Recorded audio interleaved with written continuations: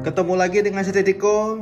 Bisa teman-teman lihat ada colokan di sini, ada charger di sini, ada timer di sini.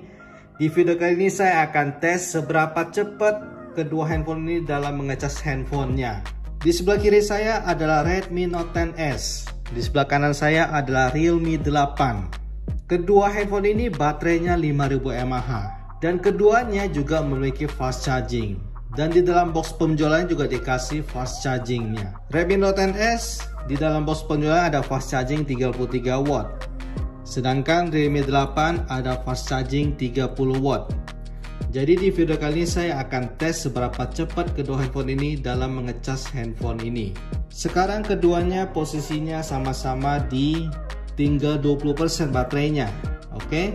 Jadi pas banget dan keduanya posisi saya sudah airplane mode.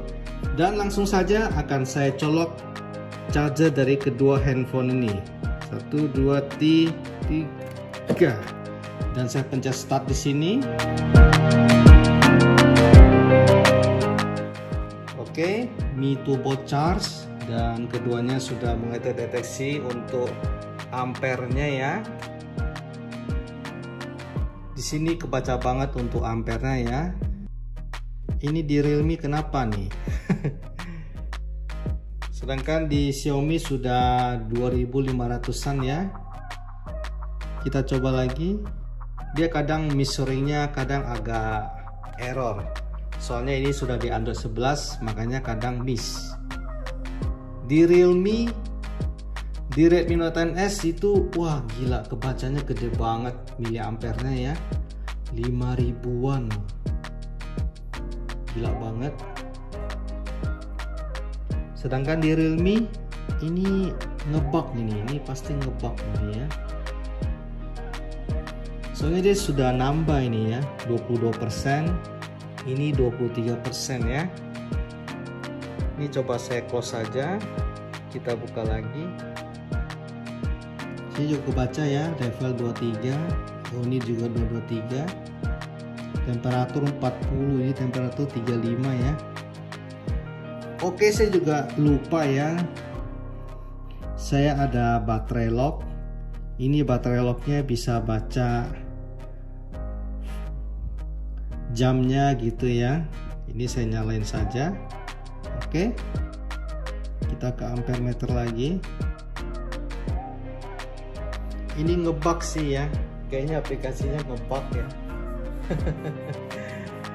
Tetapi tidak apa-apa dia tetap fast charging kok ya. Di sini bisa kebaca sekarang sama-sama di 24% ini udah sama-sama di 25% ya. Jadi akan saya tinggal ya. Akan saya lock dan lalu akan saya tinggal. Tetapi dalam posisi tetap kerekam juga ya. Oke Oke,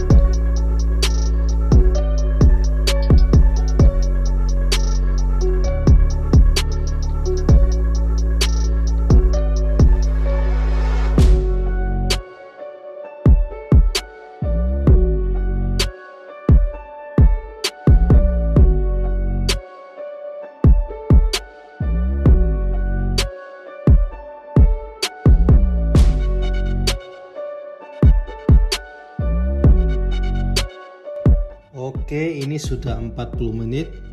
Kita coba cek ya. Nah, ini benar-benar kacau banget ya. Di sini bisa teman-teman lihat Redmi Note 10s di 56%, sedangkan Redmi 8 di 80%. Ini kayak ngebug gitu ya. Kita cek di baterai lock ya. Ih, malah ngebug juga ini. Hah. Malah ke close sendiri tadi. Aduh, kacau banget ini. Kita biarin dulu ya. Saya akan lock lagi. Oke, ini sudah nyala ya. Saya akan lock lagi.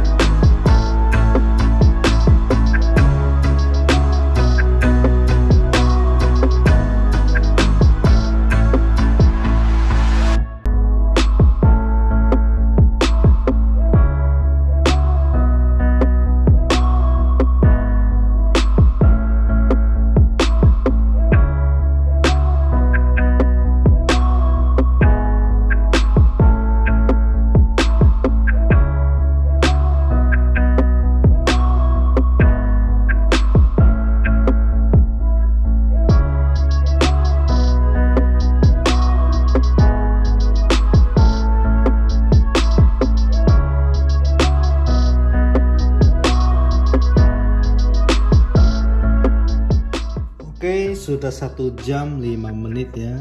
Saya coba cek lagi. Realme sudah 100% ya, sudah full. Sedangkan Redmi Note 10s masih 66% ya. ini ngebug kali ya membingungkan sekali kita cek baterai lock ya oke bener ini Realme udah full ya tadi pertama ngecas Realme di jam 0003 dan fullnya di 0106 1 jam 3 menit. Realme ngecas full 1 jam 3 menit ya. Karena sudah full Realme akan saya cabut ya. Kayaknya videonya segini saja dulu ya. Karena tidak tahu kenapa charger di Redmi Note 10 ini selama itu. Sudah 1 jam 26 menit baru kecas 79% loh. Ini benar-benar nggak tahu ngebug atau gimana ya. Cuman di Redmi 8 dia oke okay banget. 1 jam 3 menit sudah full 100% sedangkan Redmi Note 10s aduh 1 jam 27 menit aja baru 79 segini aja untuk video ini untuk ngecasnya ya lebih cepat dan lebih stabil di Realme 8 ya. Bisa teman-teman lihat untuk Redmi Note 10 mulai cas dari jam 0003 ya sama. Dan di sini full ya. Di jam 02.19 ini benar-benar ngebak parah ini ya